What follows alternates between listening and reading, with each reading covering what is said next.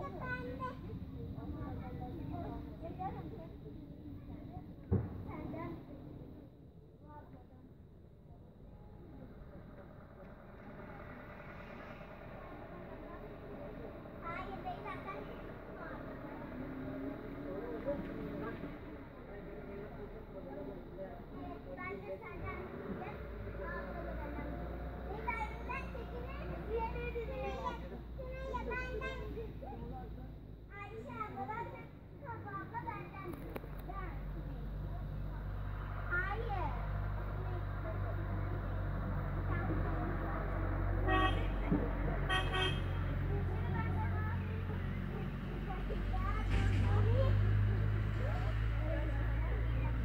Burası Değirmendere.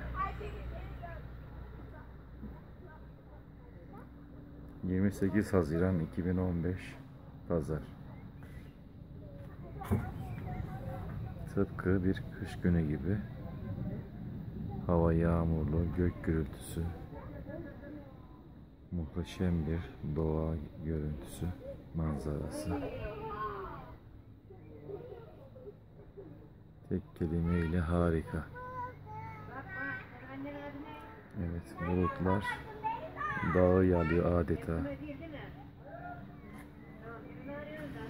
Tıpkı bir Karadeniz bölgesi gibi yemyeşil. Yeşil.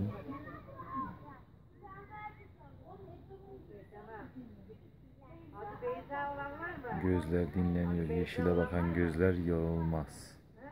Misali. Evet.